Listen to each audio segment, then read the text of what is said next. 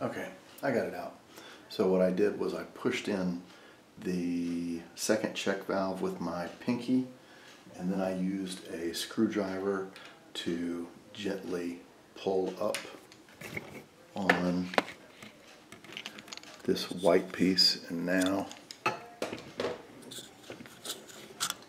it's coming out. It's just stiff. This thing's brand new. Uh, it's never been installed. Not like learning plumbing while breaking stuff that's your own. Okay. Interesting. Oh, it's got some dirt on it. Um, it goes in this side toward the second check valve.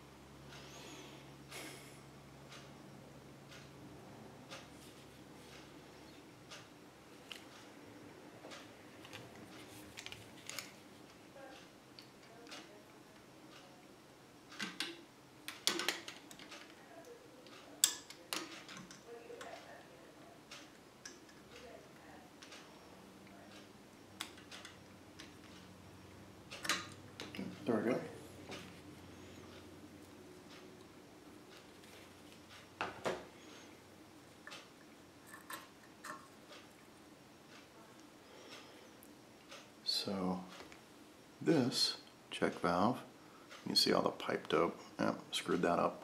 Um, this one goes to check number one and uh, it's got a little spring there. Let's see, and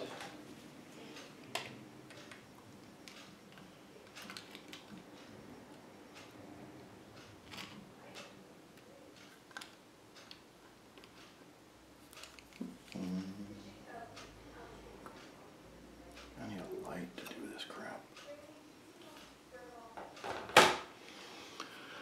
This one, um, this end, sticks out into the, uh, uh, the middle area there. Uh, this goes to check valve number two. And, ah, so the white one actually uh, goes to check valve number one, and the black one goes to number two. number one check. It'll say number one and number two on it's actually Greenrumor is the guy that had the video that uh, just helped me out. And uh, clean this up and put her back together.